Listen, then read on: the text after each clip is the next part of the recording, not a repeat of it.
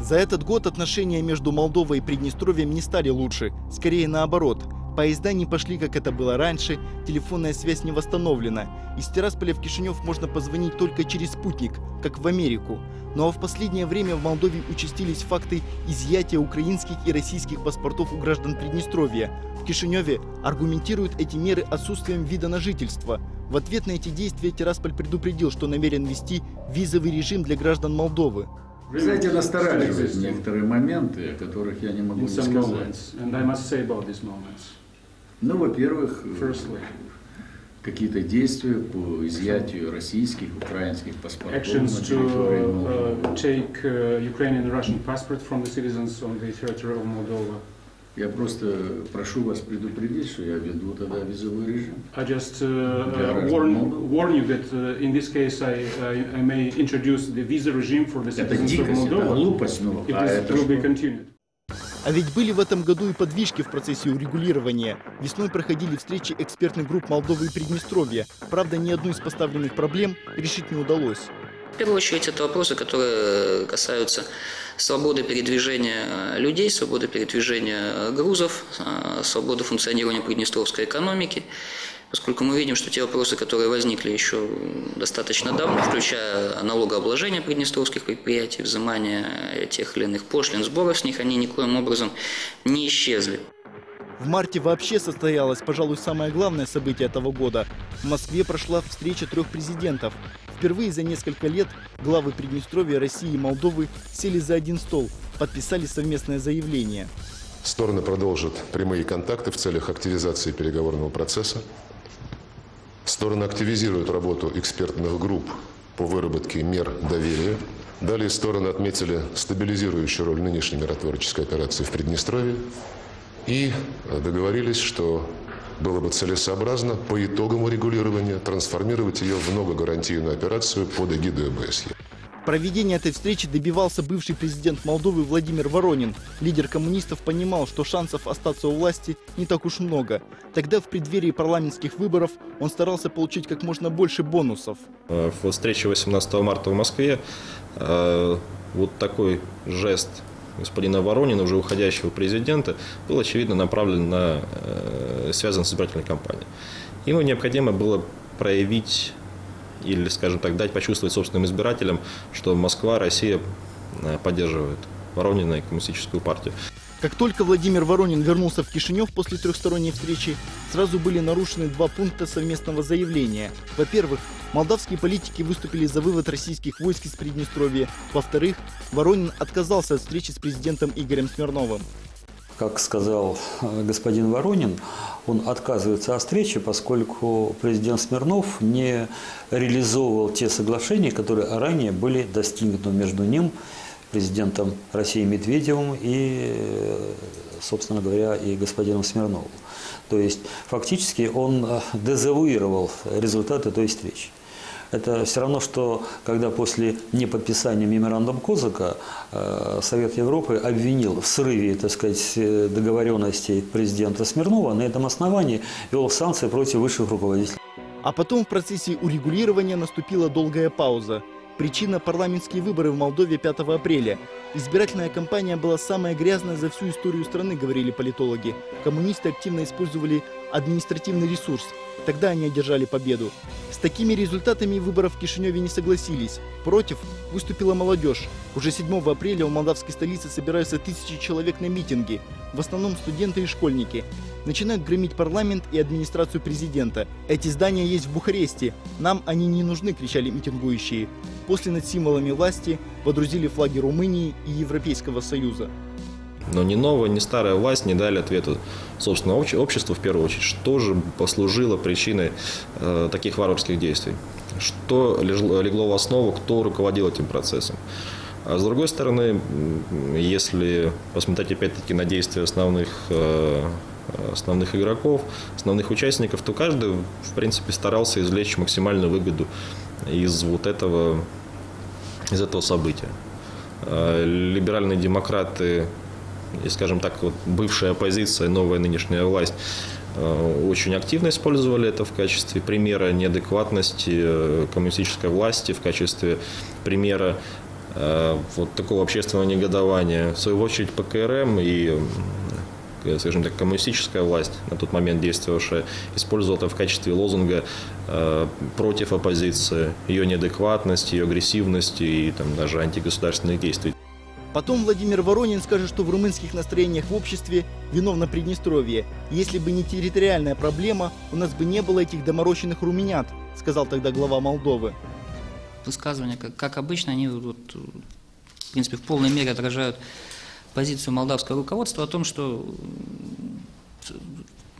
лучше изобразить какую-то деятельность, чем работать на самом деле. Традиционная слова высказывания о необходимости возвращения к формату 5 плюс 2 – это не более чем э, дань уважения нашим западным партнерам, которые тоже предпочитают не замечать внутреннюю ситуацию в Республике Молдова и пытаются сделать вид, что ничего, собственно, не произошло.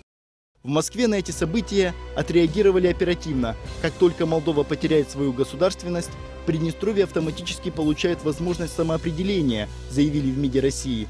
Летом в Тирасполе побывал депутат Государственной Думы Константин Косачев. В сложившихся условиях главное это не допустить здесь повторения осетинской трагедии, заявил российский политик. Видели, что произошло в Южной Осетии, когда э, режим Саакашвили попытался заменить политический процесс военным и тем самым окончательно разрушил любые перспективы восстановления территориальной целостности Грузии. Я уверен в том, что у э, властей э, Молдавии у их э, партнеров на Западе хватит здравого смысла, чтобы из этого крайне негативного грузинского опыта сделать дополнительные выводы и остаться в рамках политического процесса. Я так понимаю, что Тирасполь к тому, чтобы в этом процессе участвовать, готов. Окончательная форма будущего урегулирования будет зависеть от решения народов Молдовы и Приднестровья, отметил Константин Косачев. Позиция России в этом вопросе не поменяется. Москва будет и далее активно содействовать Приднестровскому процессу, подчеркнул российский политик. Кремль будет вносить решающий вклад в то, чтобы этот процесс не останавливался. Благодарны России за физическую безопасность, как я всегда выражаюсь. Это так и есть. Тем более с учетом меняющихся геополитических реалий во всем мире. И пусть мы не мироустроители, но мы четко выдерживаем то, что сказал наш народ на референдум 2006 года. Тем временем в Молдове проваливаются две попытки избрать президента страны. Коммунистам не хватало всего одного голоса, чтобы Гречаная стала главой государства. По Конституции Воронин распускает парламент. Назначается новая дата выборов в законодательный орган на 29 июля. По результатам большинство в парламенте получают оппозиционные коммунистам политические партии. Они объединяются в альянс за европейскую интеграцию. Спикером парламента выбирают Михая Гимпу, премьер-министром Влада Филата. Свою деятельность они начали с требований к России о выводе войск из Приднестровья. При этом не оглядывались на подписанное в Москве заявление. Есть э, желание наших граждан, это есть э, государство, которое сама решает, допустить, не допустить иностранные войска на своей территории. Тем более, что этот вопрос не раз обсуждался и в Совете Европы, и в Истамбуле, и у нас – и закон, принятый по консенсусу всех партий в 2005 году. Я не думаю, что эти требования должны быть воспроизведены с каждым изменением власти в Республике Молдова. Mm-hmm. Это обязанности, во-первых, Российской Федерации. Они признали суверен, суверенитет, независимость Республики Молдова, обязались, э, когда принято было решение саммита ОСЧЕ, ОБСЕ, извините, в Истамбуле в 1999 году, нужно просто выполнить все нормы закона и все договоренности договоренности, которые были э, достигнуты ранее. В Тирасполе задавали встречный вопрос, а кто будет выполнять подписанное заявление трех президентов весной этого года в Москве? С ответом выступил вице-премьер Молдовы, отвечающий за реинтеграцию страны Виктор Осипов. Это новый человек в процессе приднестровского регулирования, который говорит про московское заявление как про условный документ, не требующий обязательного исполнения. Президентами там были господин Медведев и Воронин. Остальном все достаточно условно. Да. Но лидеры, во всяком случае, подписали совместное заявление, которое содержит очень много интересных идей. Там нет ни инструментов решения, ни там объявлены, вот, объявлена тема. Достаточно в достаточно конкретной формулировке, но, э, но и статус, и формулировка э, не, э, не являются указаниями к действию и тем более не, не содержат инструментов для реализации. Все лето приднестровская сторона настаивала на работе в процессе урегулирования. Через миссию ОБСЕ Тирасполь предложил возобновить работу экспертных групп. Также на этом фоне в Вене прошли неофициальные консультации в формате 5 плюс 2. Только никаких результатов это не принесло. В Молдове политический кризис, а все министры только исполняли свои обязанности. Для нас очень важно, чтобы э, обе стороны говорили друг с другом. And that we, the 3 plus 2, uh, uh, help them to find solutions, practical solutions. Мы со своей стороны, группа 3 плюс 2, будем оказывать всяческое содействие для решения практических вопросов. I can assure you that this effort is going to continue. Я вас заверяю в том, что мы будем продолжать свои усилия. Uh, and that the Greek chairmanship in office until the end of the chairmanship will be very active and will give high priority to this, to this question. И в конце своего председательства греческое руководство ОБСЕ уделяет первостепенное значение приднестровскому регулированию. Этот дипломат из Афин дважды посещал Тирасполь. Дело в том, что весь год в миссии ОБСЕ председательствовала Греция. Организация проводила активную работу. За год проведено три неофициальных встречи в формате 5 плюс 2. Одна из них впервые за несколько лет прошла в Тирасполе. Только участники еще раз говорили о том, что до полноценного переговорного процесса далеко. Говорить о том, что формат начал э, работать, наверное, было бы преждевременно. Начинаются контакты, э, в которых участвуют э, представители тех посредников и наблюдателей, которые привлечены сторонами к содействию выстраивания конструктивного диалога между ними. Я так понимаю, что настрой начинать обсуждать и решать сначала, может быть, не какие-то крупные и большие э, принципиальные проблемы, но, по крайней мере, делать, э, пускай и маленькие шаги, но в нужном направлении. В те же дни впервые состоялся семинар сотрудников правоохранительных органов Молдовы и Приднестровья. Данные мероприятия отвечают интересам населения. Официальный Тирасполь что тогда, что сегодня приветствует возобновление любых контактов и переговоров. Позиция Молдовы тоже ясна. Только унитарное построение государства Приднестровью гарантирует статус автономии. Это никогда не устраивало и не устраивает жителей республики. Есть пример признания Абхазии и Южной Осетии. Приднестровье каждый год своего существования доказывает, что готово к признанию. Это подтверждают и российские эксперты. Я думаю, что Приднестровье может быть более независимое, чем, э, там, предположим, та же самая Украина. Другое дело, что нет признания международных институтов. Здесь Россия любит, поэтому вы можете рассчитывать на э, поддержку России. А вот какие там будут форматы, взаимоотношения с Молдавией, так сказать, с Россией, как будет развиваться, зависит во многом от обстоятельств. У Приднестровья появляется шанс получить политическое признание Москвы. А Москва а, и Российская Федерация обладают достаточным стратегическим, геополитическим и экономическим потенциалом, чтобы гарантировать полноценную политическую независимость государству, такому государству, как Приднестровье. Остается надеяться только на гарантов Россию и Украину. Последняя также поддерживает позицию Молдовы. Об этом на встрече в Тирасполе заявила секретарь Совета безопасности и обороны Украины Раиса Богатырева. Мы считаем и признаем территориальную целостность э, Республики Молдова. Мы считаем, что необходимо соблюдать и уважать права человека. Мы понимаем, что э, необходимо обязательно э, решить вопросы, которые есть в Приднестровье. Возможно, рассмотреть вопрос особого статуса Приднестровья. Такая наша, такая наша официальная позиция. И мы ее готовы с нашей стороны укреплять, помогать находить взаимодействие между Кишиневым и Тирасполем. Тогда осенью Богатырева на берега Днестра привезла еще одну головную боль. Сейчас это называют процессом демаркации молдо-украинской границы. Чтобы лишить Москву влияния на Приднестровье, Киев пошел на хитрость. 28 декабря президент Виктор Ющенко вместе с фриу президента Молдовы Михаем Гимпу забьют первый пограничный столб на левом берегу Днестра. С него начнется демаркация Приднестровского участка границы, которая будет проходить под мониторингом экспертов Евросоюза.